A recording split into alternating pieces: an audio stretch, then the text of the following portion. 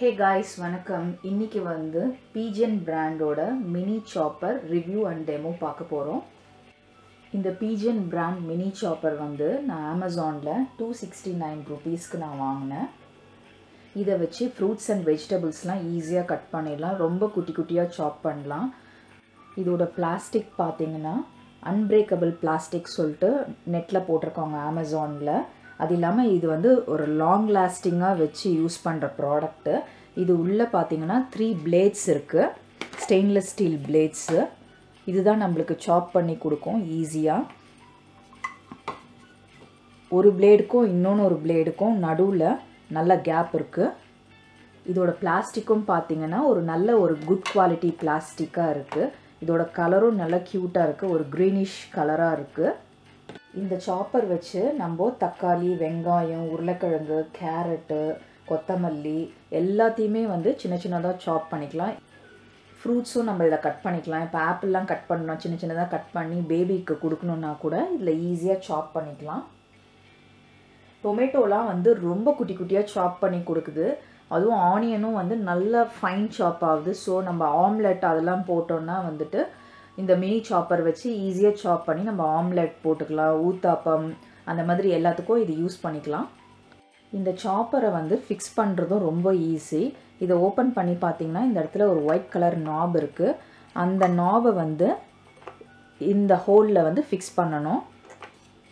Fix பண்ணிவிட்டு இங்கே பார்த்தீங்கன்னா ஒரு லாக் சிஸ்டம் மாதிரி இருக்குது ஜஸ்ட் இப்படி வந்து ட்விஸ்ட் பண்ணோன்னா இது லாக் ஆகிடும் இதை யூஸ் பண்ணிவிட்டு வாஷ் பண்ணுறதும் ரொம்ப ஈஸி ஜஸ்ட் ஒரு லூக் வார்ம் வாட்டரில் வந்துட்டு ரின்ஸ் பண்ணாலே போதும். இது நல்லா வாஷ் ஆகிடும் அதுக்கப்புறம் நம்ம வாஷ் பண்ணும்போது பிளேட்லாம் ரொம்ப தேய்ச்சி வாஷ் பண்ணணும்னு அவசியம் இல்லை.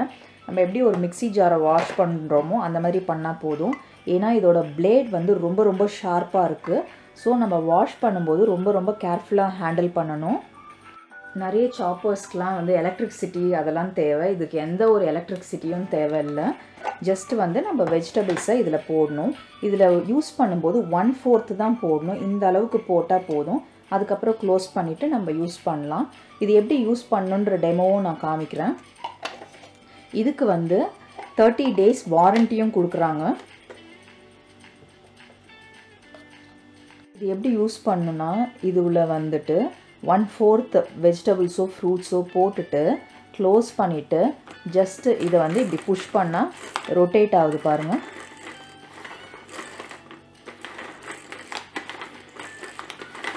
ஸோ இந்த ரொட்டேஷன் மூலயமா ஈஸியாக ஃப்ரூட்ஸ் அண்ட் வெஜிடபிள்ஸ்லாம் ஈஸியாக சாப் பண்ணிடலாம். பேச்சுலர்ஸ்லாம் வந்து நான் ரெக்கமெண்ட் பண்ணுறது என்னென்னா இந்த மாதிரி ஒரு சின்ன மினி சாப்பர் வச்சுட்டிங்கன்னா நீங்கள் வந்துட்டு காய் கட் பண்ணி சமைக்கணும்லாம் அவசியம் இல்லை. இதுலேயே வந்து ஈஸியாக கட் பண்ணிக்கலாம்.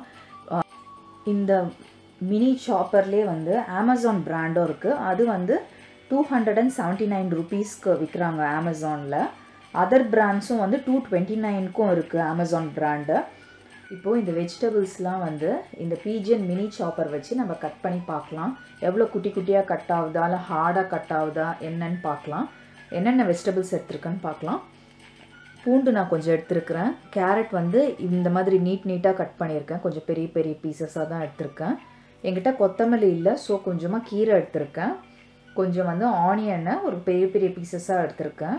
அப்புறம் ஆப்பிள் எடுத்திருக்கேன் கொஞ்சம். அப்புறம் தக்காளி கொஞ்சம் எடுத்திருக்கேன். இப்போது ஒன் பை ஒன்னாக நம்ம கட் பண்ணி பார்க்கலாம்.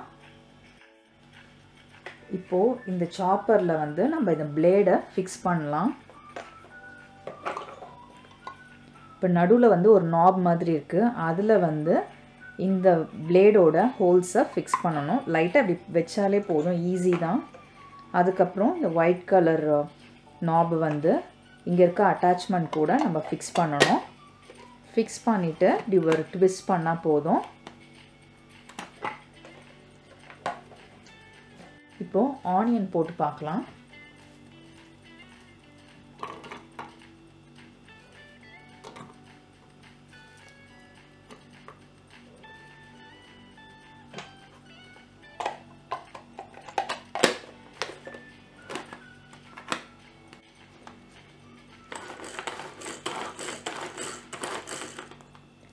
இப்போ வந்து ஓப்பன் பண்ணி பார்க்கலாம். பார்த்தீங்கன்னா ஆனியன்ஸ்லாம் ரொம்ப நல்லா ஃபைனாக சாப் ஆகிருக்கு ஒரு ஆம்லெட்லாம் போடுறோன்னா எவ்வளோ குட்டி குட்டியாக கட் பண்ணுவோமோ அவ்வளோ குட்டியாக கட் பண்ணியிருக்கு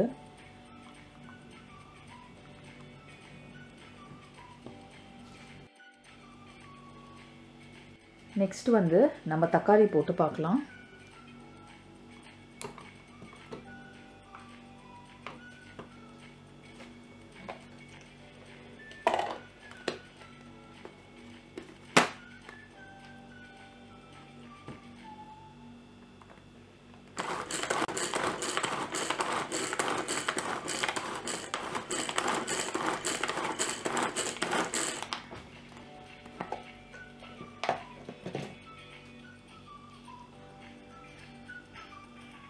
சாலட்லாம் நல்லா யூஸ் பண்ணலாம் இந்த மாதிரி.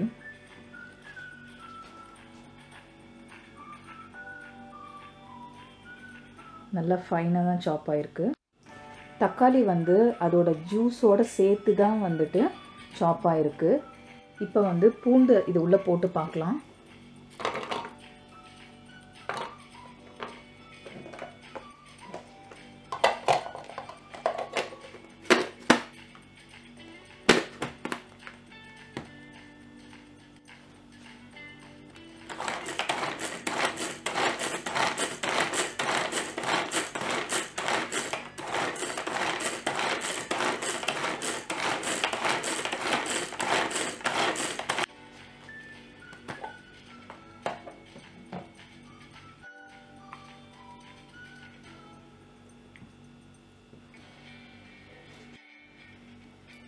பூண்டும் வந்து நல்லா ஃபைனாக சாப் ஆகிருக்கு பட் இது எல் எல்லாம் ஒரு ட்ராபேக்னால் எல்லாத்தையும் வந்து கொஞ்சம் சின்ன பீசஸாக போட்டால் மட்டும்தான் இவ்வளோ ஃபைனாக சாப் ஆகுது. கொஞ்சம் பெரிய பெரிய பீசஸாக போட்டோன்னா அந்த அளவுக்கு வந்துட்டு ரன் ஆக மாட்டேங்குது. அதுதான் இது இந்த சாப்பரோட ஒரே ட்ராபேக் நெக்ஸ்ட்டு கேரட் கட் பண்ணலாம். கேரட் வந்து எனக்கு தெரிஞ்சு இவ்வளோ பெரிய பீஸ் போட்டால் கட் ஆகாதுன்னு நினைக்கிறேன். ஸோ இதுலேயே வந்து பாதி சைஸாக போட்டு பார்க்கலாம். கட் பண்ணிவிட்டு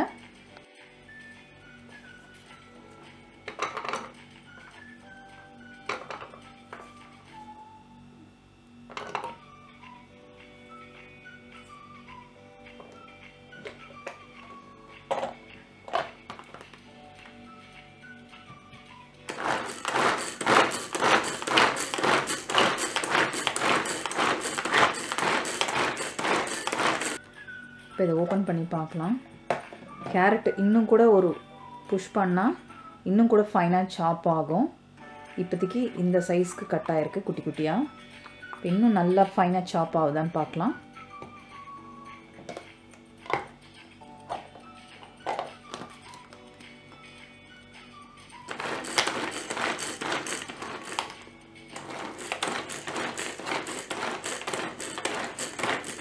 மட்டும் பார்த்திங்கன்னா நல்லா ஃபைனாக சாப் ஆகுது. ஜஸ்ட் நம்ம பீசஸ் மட்டும் கொஞ்சம் சின்ன சைஸ் பீஸாக போட்டால் இந்த மாதிரி நல்லா ஃபைன் சாப் ஆகுது. இப்போ வந்து நம்ம இது உள்ள கீரை போட்டு பார்க்கலாம்.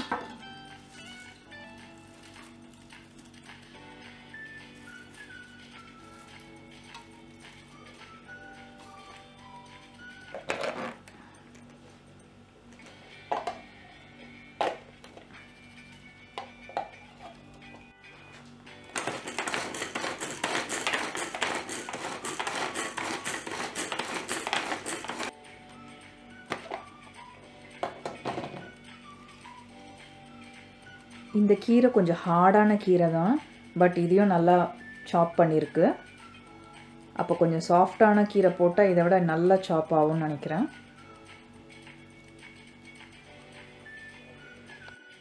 இப்போ வந்து இதில் ஆப்பிள் போட்டு பார்க்கலாம். ஃபஸ்ட்டு நான் ஆப்பிள் போட்டேன். அப்போ வந்து கொஞ்சம் பெரிய பீசஸாக போட்டேன் கட் ஆகலை. ஸோ இந்த சைஸ் பீஸாக போட்டு பார்க்கலாம். சாப் ஆகுதான்னு பார்க்கலாம்.